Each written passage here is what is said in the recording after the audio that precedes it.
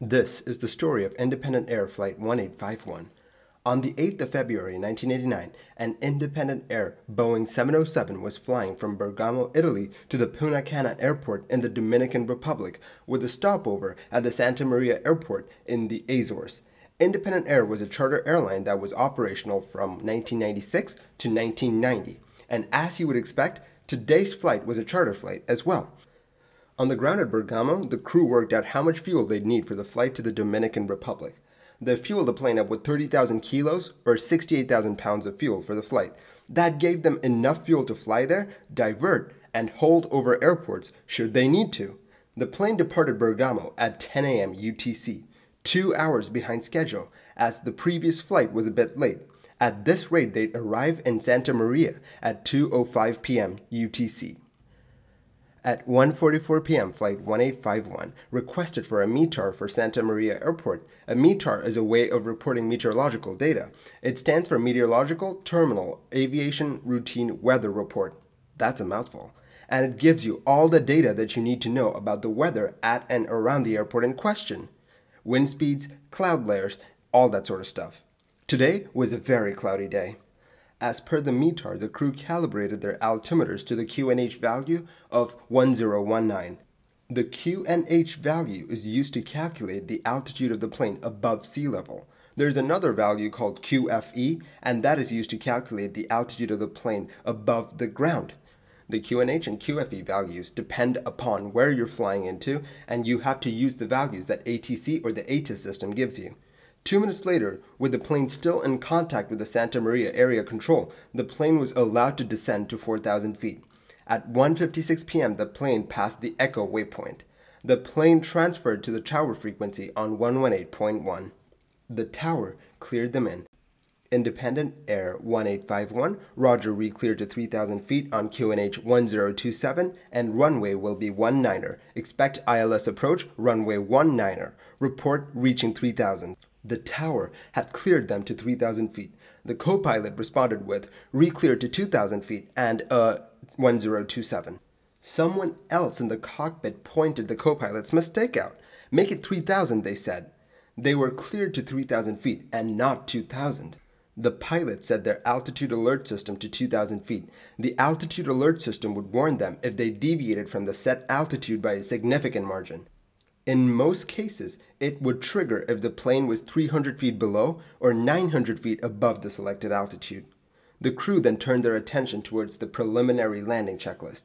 They ticked off items on the checklist. The co pilot told the captain that he was going to tune the ILS. The co pilot continued, After 2,000 feet, we'll get below these clouds. The captain replied with, In case we don't, 187 is the outbound, referring to the heading that they had to fly in case they did not sight the runway. At 208 and 5 seconds UTC, the GPWS system sounded in the cockpit. It blared for 7 seconds. There was no comment or reaction from the crew. People near the parish of Santa Barbara saw the plane low over their town, and it was flying much lower than what other airplanes flew. It was headed straight for the Pico Alto mountain. The plane disappeared into the clouds. The witnesses on the ground could not see the plane anymore, but they did hear it. They heard it crash into the Pico Alto mountain with a gut wrenching crash. None of the 144 people on board made it.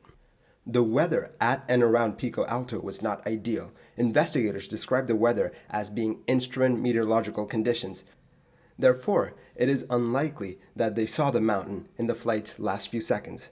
The investigators found out that the plane was flying from the Echo reporting point to the VOR at the airport. This brought to light some of the issues that the crew was facing. At the start of their approach into Santa Maria, the crew were cleared to Echo Sierra Mike Alpha, their final fix. They had trouble understanding this information. They got their final fix wrong two times, so the crew had some issues in understanding their terminal clearance. So, due to this confusion, the crew flew directly towards the VSM VOR from the Echo point. They should not have done this. The approach called for them to fly towards an NDB near the airport and then to the airport itself. Had they done this, they would have missed the mountain. But that does not explain the accident. Eyewitnesses said that airliners often flew over the parish as they approached the airport, meaning that other planes also flew towards the VSM VOR. The route published had a safety buffer of about 5 nautical miles on both sides. The plane was well within the safety buffer. Other planes did the same thing that the crew did. So what made Flight 1851 so special? Going over the ATC transcripts, they found more things that went wrong. A METAR was published at 1.54 p.m. UTC. When the controller was clearing the plane down to 3,000 feet, the controller gave the crew the wrong QNH value. The QNH is basically just a measure of pressure. The plane's computers can accurately calculate the plane's altitude only if it is calibrated with the correct QNH slash QFE value. The QNH value that the controller gave was 1027, whereas the correct value was 1018. The investigators found that, due to this mistake, the plane was 240 feet lower than what the altimeter showed. But that still does not explain the crash. The controller cleared them to 3,000 feet. Even if they were 240 feet below 3,000, it would have given them more than enough clearance to clear the mountain. The investigators' attention now turned towards the actions of the crew. Did they make a mistake? After being cleared in for the ILS approach onto runway 19, the crew should have conducted an approach briefing, but they never did. Had they done that, they would have known that the minimum safe altitude for the area was 3,000 feet. Moreover, the mountain of Pico Alto was also clearly marked on the charts. They listened on. They heard the controller cleared the plane down to 3,000 feet, the correct altitude, and then they heard the co pilot say that they were cleared to 2,000 feet. Someone in the cockpit corrected him by saying 3,000 feet, but that was the end of that. No further discussion on the matter was recorded. Moreover, no one objected when 2,000 feet was entered as the altitude alert value.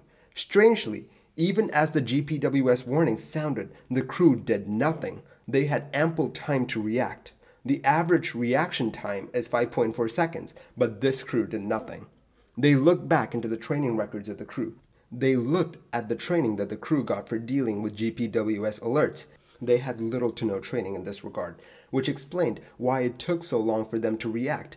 Independent Air simulator training was done on simulators owned by other airlines, and their simulators were set up a bit differently than the planes that Independent Air owned, and some of them had their GPWS systems turned off. Here's a quote Thus, because a simulator's GPWS would activate during normal approaches, instructors usually disabled the GPWS or instructed the students to not react when the GPWS would sound.